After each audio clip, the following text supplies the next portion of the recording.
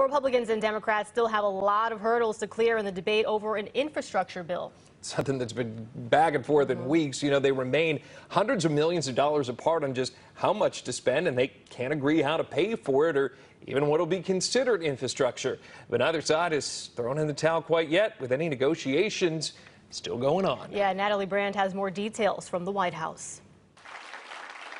June should be a month of action on Capitol Hill. President Biden is hoping to break congressional gridlock on his infrastructure plan.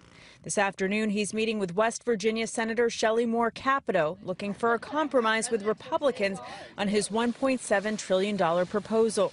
The latest GOP offer includes nearly $1 trillion to fix roads, bridges, and rail lines.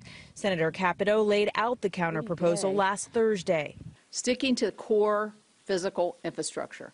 Uh, I think that's what the American people think of when they think of, in, uh, of infrastructure, and that's certainly what we do too. But the White House has expressed concern the Republican plan does not include money for additional priorities, include fixing VA hospitals, removing lead pipes, and funding clean energy jobs.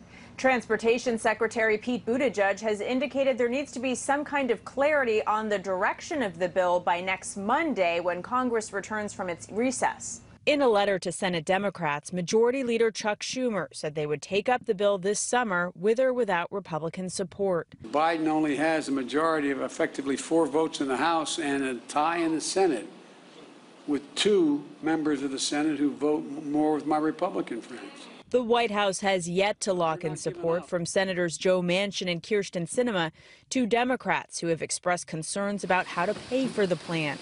Natalie Brand, CBS News, the White House.